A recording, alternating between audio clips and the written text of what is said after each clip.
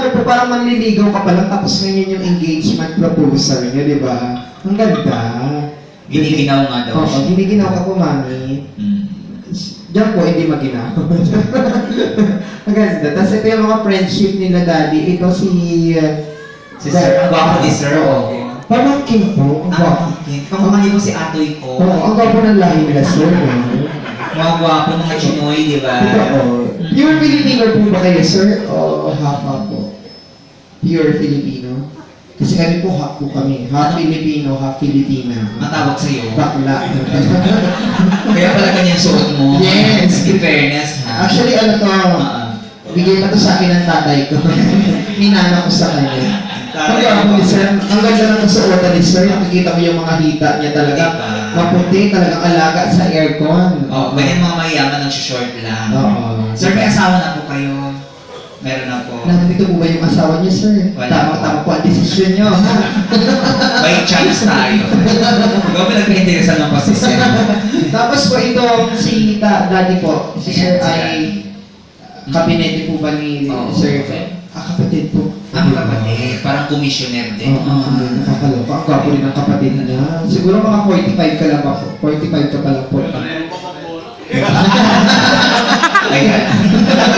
Ah, mas, mas old ba si daddy? Ayan. Ilang taon na po si sir? Panganay. 45 po. 45. Ayan. Saktong sakto. And welcome po. At alam na po natin ang bago original number ng Viva Hot Babes. Di ba tingnan po? Welcome po sa inyo mga madam. Pasok-pasok na. In fairness, ang dami pala natin ha. Oo nga. Kasi in-expect ko kanina 30 lang. Oo, 50 daw mga 50. Nakakalo. Si daddy pong naka-green din na isa ay kapatid din po. Kaibigan. Oo. Tapos si daddy na, yung katabi po ni daddy ay...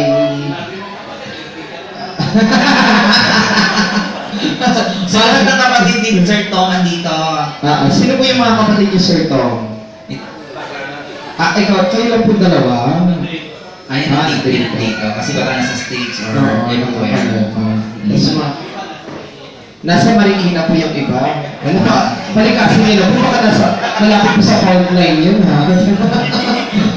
Sabihin niyo, lumigas na sila habang maaga pa. Ang layo, palikinan. Habang hindi pa nagaganap yung big one. At Marikina. Kanina yung ano, significant in view of si Madam na nakastrike na maganda. Kaninong asawa ko. Wala akong maangin sa inyo. Kaninong asawa ko si Madam. Ah, kay Tito. Gwapo, no? Gwapo, maganda. Yan ang tinatawag natin dyan, tinaghana o destiny. Yeah. Si Tito po na nasa gilid, kaibigan din po ni Tito Tom. Gwapo rin yun. So si Tito Tom lang po ngayon ang retired. Kasi yung iba po na hindi pa. Tama po ba? Po? retired din po, hindi retired. Saan po ba connected si Tito, si Sir Tom, kung hindi niyo, kung inyo po mamarapatin, para po may idea po kami. Saan ka po connected before? Custom. Ano po? Port area. Philippine... Nga yun, te? Kung ano? Yun? Hindi ko alam yun. Pero, ano ka po dati?